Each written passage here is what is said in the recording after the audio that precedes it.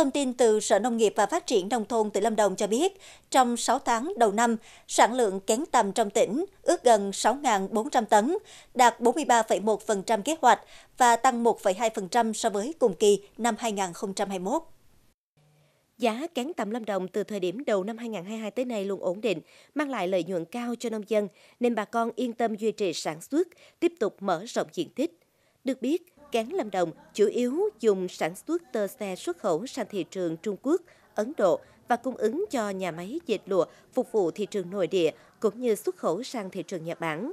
Sau thời điểm khó khăn 2020-2021 do đại dịch Covid-19, ngành dâu tằm Lâm Đồng đã khởi sắc trở lại, mang lại nguồn thu tốt cho nông dân và doanh nghiệp.